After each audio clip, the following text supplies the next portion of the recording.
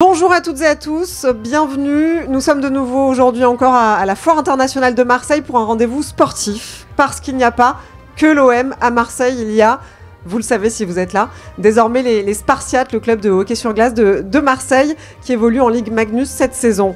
Euh, J'ai le plaisir d'avoir à mes côtés aujourd'hui cinq joueurs de l'effectif. Alors je vais, je vais essayer de pas écorcher leurs prénoms. Maxence Leroux, Florian Gourdin, Lucas Colombin, Sacha Djigaouri et Paul Sirodin. Je pense qu'on peut les applaudir déjà.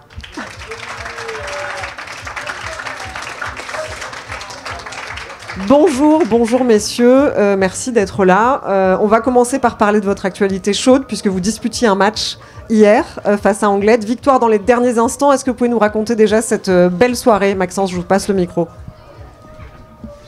Bonjour à tous déjà. Et ouais, c'est clair qu'hier c'était un, beau match. Je sais pas si vous étiez présent, mais oui, ok. Donc ouais, c'était un match arraché. On a réussi à, à marquer dans les prolongations un but en or du coup par euh, Paul juste là à 6 dixièmes de la fin. Donc c'était vraiment un match euh, intense avec du suspense et un match qui finit bien du coup pour nous avec cette victoire et qui nous permet de rester euh, haut dans le classement. Donc on est sixième pour l'instant. Donc c'est vraiment très bien pour ce début de saison en tant que promu et on va essayer de continuer sur cette voie-là. Il y a eu beaucoup de, chemin qui a été parcouru depuis la création du, club. C'était il y a un peu plus de 10 ans, en 2012, c'est ça?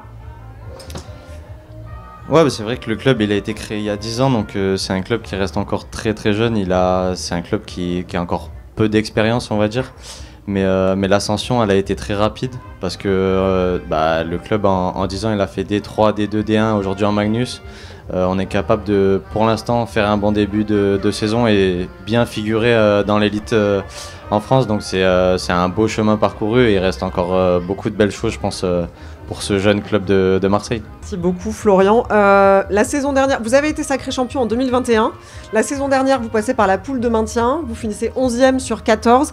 C'est quoi la différence entre la D1 et la Ligue euh, Magnus? Euh, bah, je pense qu'en Ligue Magnus, déjà, de- le jeu, c'est beaucoup plus rapide.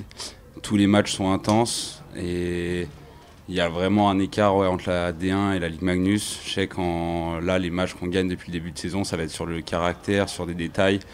Et c'est vrai qu'en D1, c'était plus compliqué parce qu'on retrouvait pas ça forcément durant l'année. Et ouais, il y a vraiment un écart sur, au niveau de l'intensité, la prise de décision. Tout va plus vite en Ligue Magnus par rapport à la Division 1. C'est une espèce de, de Super League en fait, Sacha, vous diriez ça? Ben, c'est un peu euh, ben, la meilleure ligue en France. Donc euh, c'est sûr que c'est un peu l'objectif de tous les joueurs euh, français de passer par cette case pour après ben, soit continuer ici, soit partir à l'étranger. Mais c'est un palier important et ouais, c'est la ligue, euh, c'est la meilleure ligue en France. Il y a beaucoup, beaucoup de fans euh, qui commencent à connaître cette, euh, cette ligue et il y a de plus en plus de monde qui commence à suivre, donc ça fait plaisir. Et ouais, c'est une ligue à 44 matchs, donc euh, ça fait quand même beaucoup de matchs euh, dans la saison comparé à la D1 où il n'y en a que 26.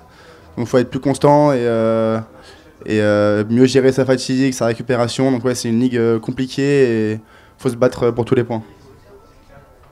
Alors on, va, on a envie d'un peu plus vous connaître. Paul, je vais vous donner le micro du coup pour vous présenter un petit peu, parler de votre parcours. Depuis quand est-ce que vous êtes euh, joueur de hockey? Puis c'est vous donc, si j'ai bien compris, qui avez offert euh, la victoire à votre équipe hier. C'est ça. Donc euh, moi je suis arrivé dans l'équipe de Marseille euh, cette année. Euh, j'ai commencé le hockey quand j'avais 3 ans à, à Genève d'abord. Après je suis allé à Annecy, puisqu'on a déménagé avec ma famille. J'ai passé euh, 10 ans à Annecy. Après je suis allé euh, en centre de formation à Grenoble, donc où j'ai fait 5 années. Mais, tout mon U17, mes U20. Et, euh, là du coup j'ai signé à, Marseille cette année. Bah, du coup, moi, c'est euh, Sacha. Euh, je suis arrivé à Marseille cette année aussi euh, avec Paul. Euh, on jouait ensemble à Grenoble. J'ai fait tout mon hockey. euh, depuis que j'ai 3 ans, j'ai commencé le hockey à Grenoble. Donc j'ai joué avec Paul euh, tout mon hockey euh, mineur. Et là, cette année, bah, on a eu la chance de, signer euh, tous les deux à Marseille. Donc euh, donc c'est super bien et euh, je suis super excité pour la saison. Alors moi c'est Lucas Colombin, j'ai 21 ans. J'ai commencé le hockey à Chamonix en Haute-Savoie.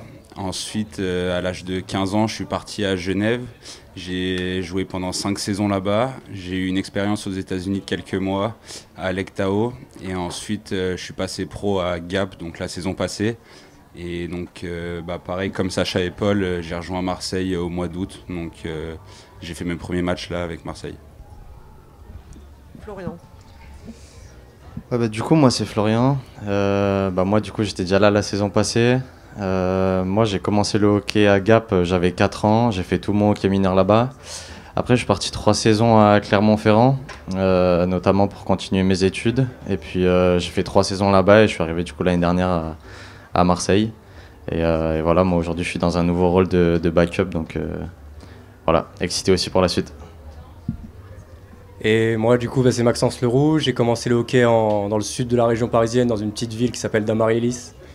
Je suis parti après en sport-études à Strasbourg où j'ai fait mon, mes classes euh, U10 U15 et U18. Je suis passé pro là-bas, deux ans.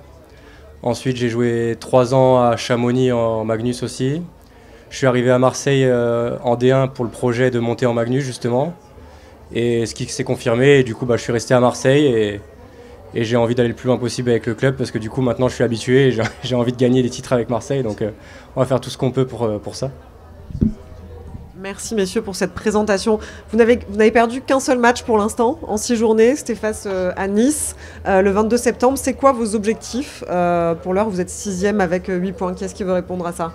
Vos objectifs cette saison Flo Bah, les, les objectifs pour cette saison, ils sont très clairs. C'est que le président, le staff, euh, ils nous ont très bien dit que si on montait en Magnus, c'était pour être compétitif dès le début. Donc euh, c'est très important pour nous de se maintenir cette année et puis euh, de prendre tout ce qu'on a à prendre parce que, bah, comme je disais tout à l'heure, c'est un club qui est encore jeune, donc on a besoin d'accumuler beaucoup d'expérience. C'est une ligue qui est assez particulière.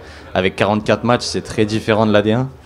Donc, euh, donc voilà, on va prendre tout ce qu'on a à prendre. Pour l'instant, on fait un début de saison qui est, qui est plutôt euh, très correct, on va dire. Et, euh, et on va essayer de continuer le plus longtemps sur, euh, sur cette lancée. Votre responsable communication, Basile Bilot pour ne pas le citer, a déclaré l'objectif des Spartiates c'est de devenir le deuxième club après l'OM. Est-ce que vous êtes raccord avec lui? C'est bon Lucas? Euh, ouais, bah en tout cas, euh, le club fait tout pour, que ce soit au niveau de la communication, la billetterie, le staff. Euh, ils mettent tous les moyens en place pour ramener le plus de monde à la patinoire. Euh, les gens qui viennent au match, que ce soit pour la première fois ou après plusieurs fois, ils adorent ça. Et en tout cas, il y a tout pour, il y a l'engouement, il y a la ferveur des gens. Et pour l'instant, les résultats suivent, donc euh, à voir par la suite. Mais pour l'instant, tout se passe comme prévu. C'est ce que j'allais vous dire. Du coup, l'engouement, il est là. Euh, vous bénéficiez aussi un de vos atouts, c'est la patinoire de Marseille, qui est la plus grande patinoire de France avec plus de, de 5000 places. À chaque match, vous déplacez les foules quand même. En moyenne, plus de 3000 euh, spectateurs, supporters. Ça vous fait quoi du coup? Et puis, il y a beaucoup de, gens aussi cet après-midi qui portent vos maillots. Euh, ça vous fait quoi de voir que cet engouement, il, monte, il, gonfle quoi? Ben, c'est sûr que ça fait plaisir parce que ben, on savait, en... personnellement, je savais qu'en signant ici, il y aurait une grande ferveur. Marseille, on connaît la ville. Souvent, les gens disent qu'ils sont, sont pas français, ils sont marseillais. Euh, Là, franchement, je le, ressens. Et euh, ben, franchement, la patinoire, elle est immense. Euh, Il y a toujours au moins 3000 personnes au match, même en semaine, même hier soir, c'était un mardi soir, il y avait 3200 personnes. Pour nous, c'est incroyable, franchement. Peut-être que vous en rendez pas compte, mais ça nous pousse vraiment à tous les matchs. Donc ouais, l'engouement, même vous voir avec le maillot ici, se déplacer pour nous, ça fait super plaisir. Donc merci beaucoup à vous et on espère que ça va continuer pour la saison.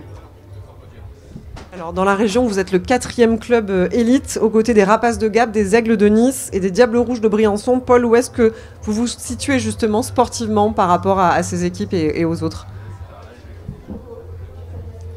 Bah, oui, comme vous avez dit, il y a Gap. Gap qui a un club euh, qui, a, beaucoup d'expérience dans la ligue, qui font pas un très très bon début de saison, mais on sait, on sait tout, leur, euh, tout leur potentiel. Ensuite, Briançon qui qui pas qui n'ont pas fait un- une très bonne saison la- la- l'année passée. Mais je pense qu'on peut complètement rivaliser avec ces équipes. On peut, on, on peut se, se départager et être dans les top, euh, top équipes de la France.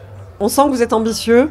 Maxence, pour terminer, prochain rendez-vous, euh, ce sera euh, la semaine prochaine face à, face à Angers, c'est ça Parlez-nous de cette euh, confrontation.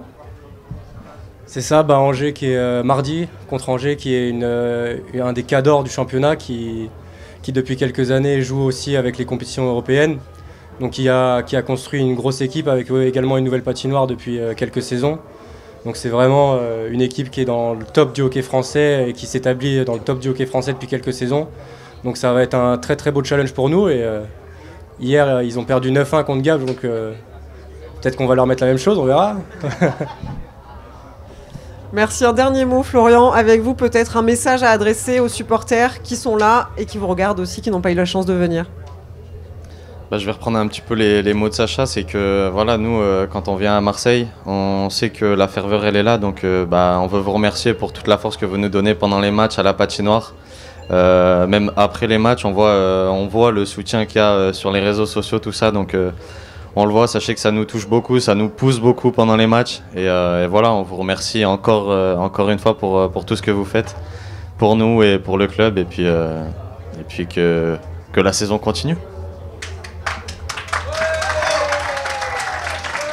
Merci beaucoup, messieurs, en tout cas, d'être euh, passés ici sur le stand de, la Provence. On va évidemment euh, échanger avec le, public présent, une petite séance de dédicace aussi.